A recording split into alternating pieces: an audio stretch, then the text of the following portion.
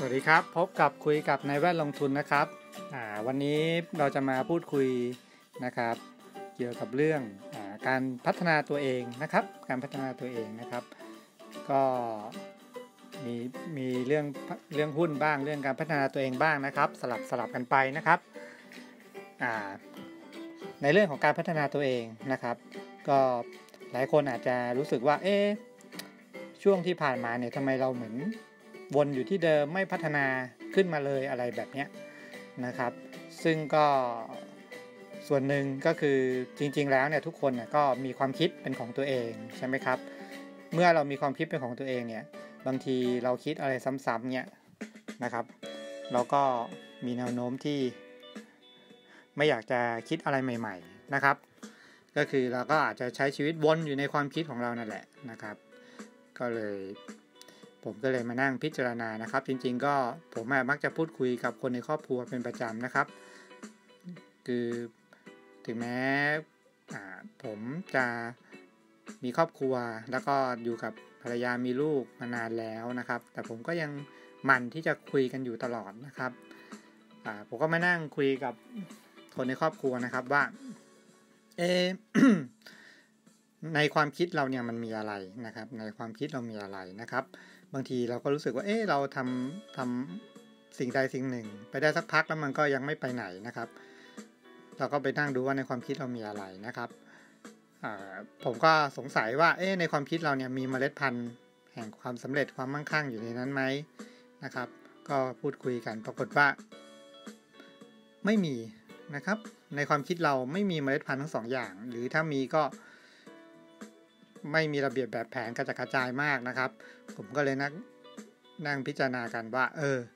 ถ้าอย่างนี้เนี่ยในระดับความคิดเนี่ยมันคงไม่ใช่ละนะครับเลเวลของความคิดเนี่ยมันมันหยาบเกินไปนะครับ ก็เลยคิดว่าเอ๊ะอะไรที่มันละเอียดกว่านั้น ก็มาเจออพลังแห่งปัญญานะครับ พลังแห่งปัญญา ถ้าเรามานั่งนั่งพิจารณาดูนะครับ เออ พลังแห่งปัญญาเนี่ย มันซ่อนเมล็ดพันธุ์แห่งความสำเร็จ ซ่อนเมล็ดพันธุ์แห่งความมั่งคั่งเอาไว้ แต่เราไม่ได้ไปสนใจมันนะครับ เราต่างใช้ชีวิตไปวันๆนะครับ โดยที่เหมือนอย่างถ้าเราถ้ามีเหล็กนะครับ มีกระแสไฟฟ้าผ่านนานพอเนี่ยอิเล็กตรอนมีการจัดเรียงตัวกันเป็นระเบียบแล้วเนี่ยเหล็กนั้นจะกลายเป็นแม่เหล็กได้นะครับ แล้วก็สามารถดึงดูดสิ่งต่างๆได้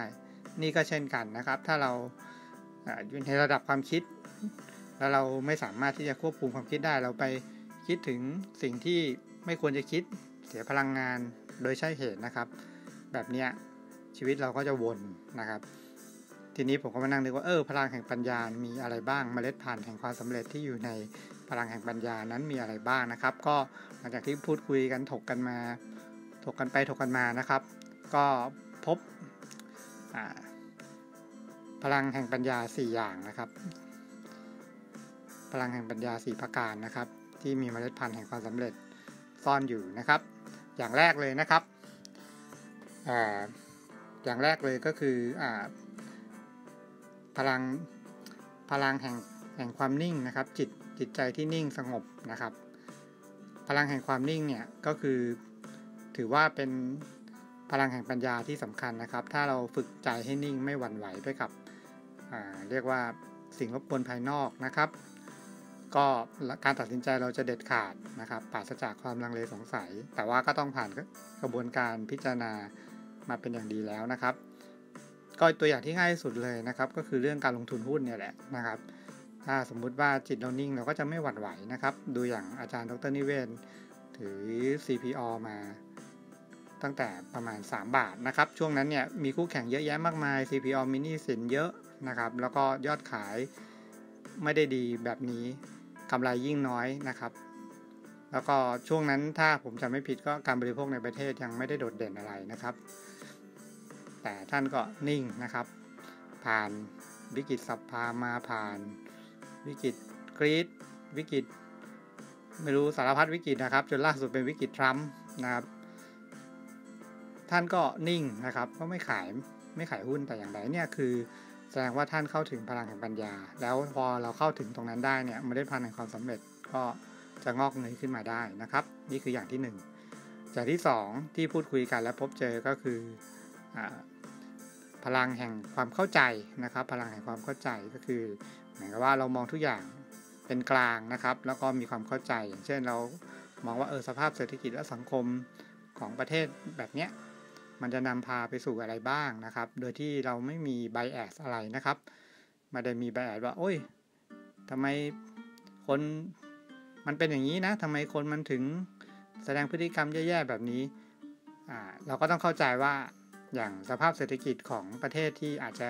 กำลังพัฒนานะครับ ก็พฤติกรรมคนก็อาจจะแบบเป็นอีกแบบหนึ่งนะครับ สภาพเศรษฐกิจของประเทศที่พัฒนาแล้วก็จะเป็นอีกแบบหนึ่งนะครับ แบบนี้ถ้าเรามองด้วยใจเป็นกลางนะครับเราก็จะเข้าใจว่าอ๋อพัฒนาการมันเป็นอย่างนี้นะ มันจะต้องผ่านตรงนี้ตรงนี้ แล้วเราก็จะเห็นโอกาสนะครับว่าเออในช่วงที่การพัฒนาการเป็นแบบนี้อะไรที่จะเป็นจุดที่เราสามารถที่จะลงทุนได้นะครับ ถ้าเรามองด้วยด้วยด้วยด้วยความเป็นกลางเนี่ยเราก็ด้วยความเข้าใจนะครับ หรือว่าเราเข้าใจคนอื่น เราก็จะไม่ตัดสินคนอื่นนะครับ เราก็จะดูว่า อ๋อทำไมเขาถึงเป็นแบบนี้สมมติไปอ่าเราเจอคนที่ค่อนข้างจะเกลี้ยวกราดอย่างเงี้ยเราก็ต้องเข้าใจว่าอ๋อพื้นฐานของคนเนี่ยมันไม่เหมือนกันนะครับ คนที่เกลี้ยวกราดเนี่ยเขาก็อาจจะมีพื้นฐานมาอีกแบบหนึ่งนะครับ อาจจะแบบเป็นมีปมอะไรตั้งแต่เด็กอะไรอย่างเงี้ย หรือว่าคนที่แบบแสดงพฤติกรรมต่างๆ อะไรอย่างเงี้ยมันก็เราก็ถ้าเราเข้าใจเราก็จะไม่ไปตัดสินอะไรง่าย ๆนะครับ แล้วก็จะมองเป็นเหตุเป็นผลมากขึ้นนะครับ นี่คือ พลังอย่างที่2นะครับพลังอย่างที่3นะครับที่เราถกแล้วก็ได้กันมาคือพลังแห่งจินตนาการนะครับ พลังแห่งจินตนาการนี่เป็นพลังแห่งปัญญาอย่างชัดเจนนะครับ พลังแห่งจินตนาการเนี่ยเราจะช่วยให้เราเนี่ย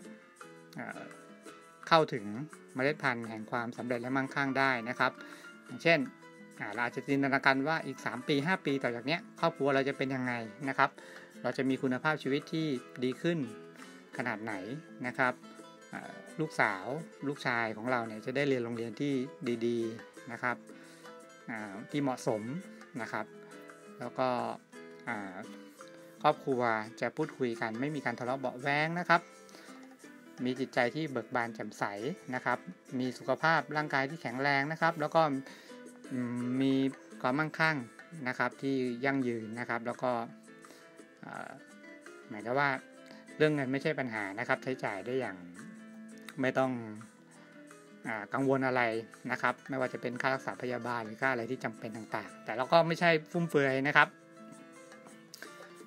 ผมก็พูดในในมุมนักลงทุนเน้นคุณค่า ถ้าเป็นนักลงทุนเน้นคุณค่าเนี่ยก็จะไม่ใช่คนฟุ่มเฟือยแน่นอนนะครับ จะเป็นคนใช้เงินอย่างรู้คุณค่าแต่เราก็สามารถจินตนาการได้ว่าคุณภาพชีวิตเราจะเป็นแบบไหนนะครับ ถึงแม้ว่าเราจะบอกว่าเอ้ยเราไม่ได้ใช้เงินฟุ่มเฟือยแต่ว่าถ้าเราใช้เงินในสิ่งที่เราต้องการได้เนี่ย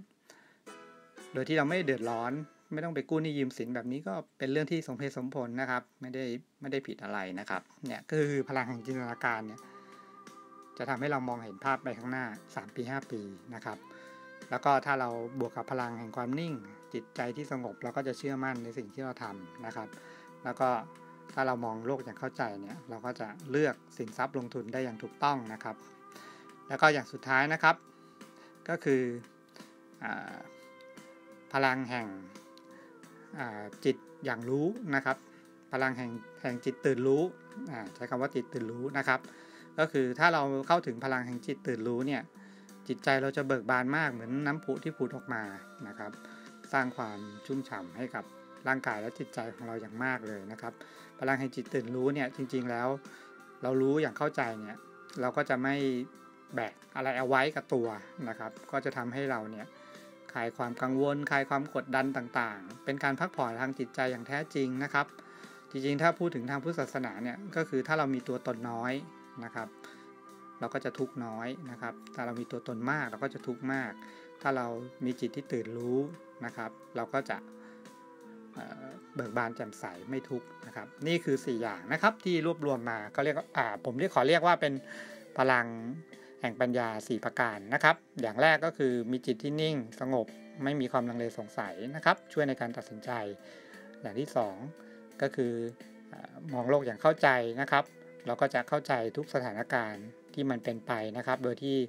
ไม่ไปรีบตัดสินจากอคติของเรานะครับ อย่างที่ 3 ก็คือ ความมีจินตนาการนะครับ ก็คืออเห็นภาพในอนาคตอีก 3 ปี 5 ปี ว่าครอบครัวเราจะเป็นยังไงการลงทุนแบบนี้จะเป็นยังไงนะครับ แล้วก็อย่างสุดท้ายคือมีจิตที่ตื่นรู้นะครับ เบิกบานแจ่มใสนะครับ นี่คือพลังแผงปัญญา 4 ประการนะครับ ก็ผมในแวดลงทุนนะครับ ก็ถ้ามีอะไรแบบนี้นะครับ ก็จะนำมาแชร์กันนะครับก็ถ้าใครติดตามสนใจติดตามก็เข้าไปที่ Facebook พิมพ์ในแวดลงทุนได้เลยนะครับ แล้วก็ ถ้าจะทาง YouTube ก็ Subscribe ได้นะครับ แล้วก็ฝากหนังสือนิดนึงนะครับ ผมมีหนังสือซีรีส์เกี่ยวกับเฟ้นหาหุ้นรวยนะครับ ตอนนี้ออกมาทั้งหมด 4 เล่มแล้ว ลองไปติดตามที่แผงหนังสือนะครับสำหรับวันนี้ก็ทำเพียงเท่านี้ก่อนนะครับ สวัสดีครับ